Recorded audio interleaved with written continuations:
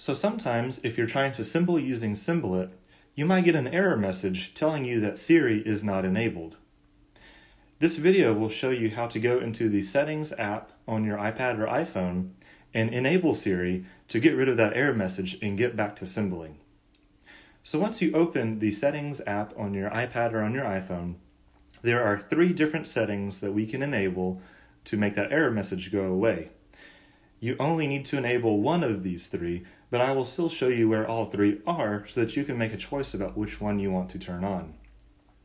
So the first two are under Siri and Search over here on the left. And then you can turn on either Listen for Hey Siri or Press Top button for Siri. Uh, keep in mind that depending on what type of iOS device you are on, that press top button for Siri might also say press home button for Siri or double tap home button for Siri. Either way, uh, it will still work. So let's turn on Siri here. Hey Siri, it is on. But I'm going to go ahead and turn on this press top button for Siri too, just for convenience. The third setting that you can enable, if you don't want to turn those on, you know, sometimes you don't want a, a student to be messing with Siri, right? Uh, so you might want to leave those off.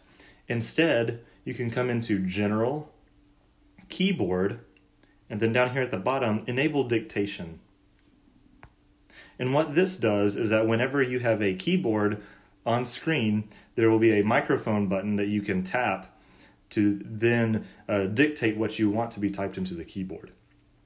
So anyway, once you enable one of those three settings, then you will be able to uh, symbol using Symbol-It again without that error message. So if we come back in to symbol it here. Now it works.